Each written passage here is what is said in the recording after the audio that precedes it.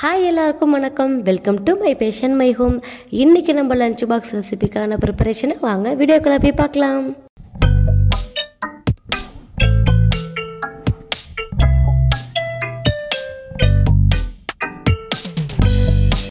இன்றைக்கி என்ன ரெசிபின்னு பார்த்தீங்கன்னா ராகி பூரி அப்புறம் green peas paneer masala gravy தாங்க.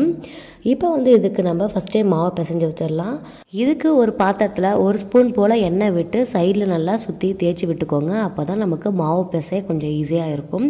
இப்போ மெஷர்மெண்ட் பார்த்தீங்கன்னா ஒரு கப் கோதுமை மாவுக்கு அரை கப் ராகி மாவு எடுத்துக்கோங்க. இப்போ இதுக்கு தேவையான அளவு உப்பு சேர்த்துட்டு கொஞ்சம் கொஞ்சமாக தண்ணி விட்டு எப்பவும் போலவே நம்ம வீட்டில் சப்பாத்தி பூரிக்கு மாவு பிசையும் இல்லையா? அது மாதிரி பிசைஞ்சு வச்சுக்கோங்க.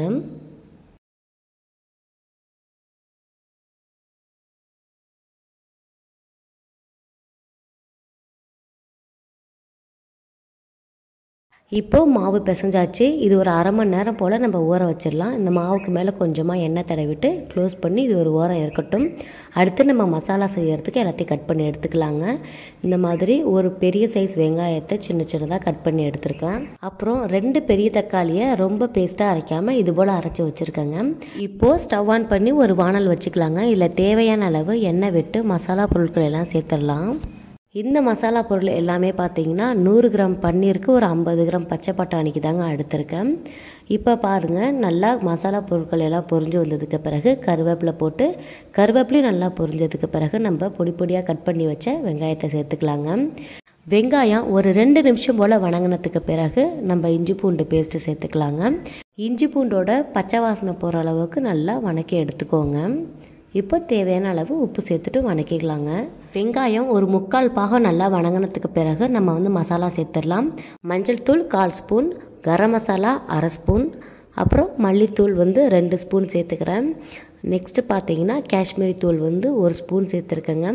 ஒருவேளை நீங்கள் வீட்டில் அரைச்ச மிளகாத்தூளாக இருந்தால் அரை ஸ்பூன் சேர்த்துக்கோங்க. ஏன்னா காரம் வந்து அதிகமாக இருக்கும்.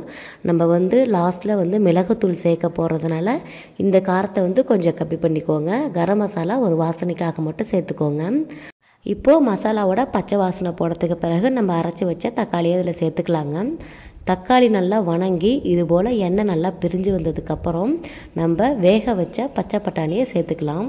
பச்சை பட்டாணியை இது போல் நல்லா சாஃப்டாக வேக வச்சு எடுத்துக்கோங்க. குக்கரில் மூணுலேருந்து நாலு விசில் விட்டிங்கன்னா இது போல் அழகாக வெந்து வந்துடும் இப்போ வந்து இதில் சேர்த்துட்டு நல்லா கிளறி கொடுத்துக்கலாங்க. ஒரு ஒரு நிமிஷம் போல் அந்த பட்டாணியோட மசாலா கொஞ்சம் பைண்ட் ஆகி வரட்டும். அதுக்கப்புறம் தேவையான அளவு தண்ணி விட்டுக்கோங்க. உங்களுக்கு எந்த அளவுக்கு நல்லா கெட்டியாக தேவையோ அந்த கன்சிஸ்டன்சிக்கு ஏற்ற மாதிரி தண்ணி சேர்த்து உப்பு தேவையான அளவு சேர்த்து நல்லா கிளறி கொடுங்க. இப்போது ஃபைனலாக சேர்க்கறதுக்காக மசாலா அரைச்சிடலாம். ஒரு டீஸ்பூன் போல் மிளகு அரை டீஸ்பூன் போல் சோம்பு சீரகம் எடுத்து இது நல்லா அரைச்சி எடுத்துக்கலாம். இந்த மாதிரி கொஞ்சம் குறகுறப்பாக தாங்க இருக்கும். நீங்கள் அதிக அளவு சேர்த்திங்கன்னா கொஞ்சம் நைஸாக இருக்கும். கிரேவி ஓரளவுக்கு கெட்டியானதுக்கு பிறகு நம்ம மசாலாவை சேர்த்து நல்லா கிளறி கொடுத்துக்கலாங்க. இது போல் எண்ணெய் பிரிஞ்சு வந்ததுக்கு பிறகு நம்ம பன்னீர் சேர்த்துக்கலாங்க. இது வந்து ஹோம்மேடு பன்னீர் அப்படிங்கிறதுனால கொஞ்சம் ஷேப்லெஸ்ஸாக தான் இருக்கும். இதுக்கு மேலே இப்போ கொஞ்சமாக மல்லித்தழையை சேர்த்துட்டு நல்லா கிளறி கொடுங்க.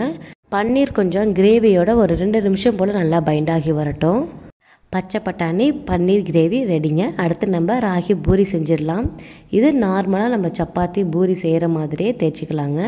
ஏற்கனவே சப்பாத்தி பூரிலாம் எப்படி தேய்க்கணுங்கிறத கிச்சன் பிளேலிஸ்ட்டில் லஞ்ச் பாக்ஸ் ரெசிப்பியில் சொல்லியிருக்கேன் ஸோ நீங்கள் செக் பண்ணி பார்த்துக்கோங்க.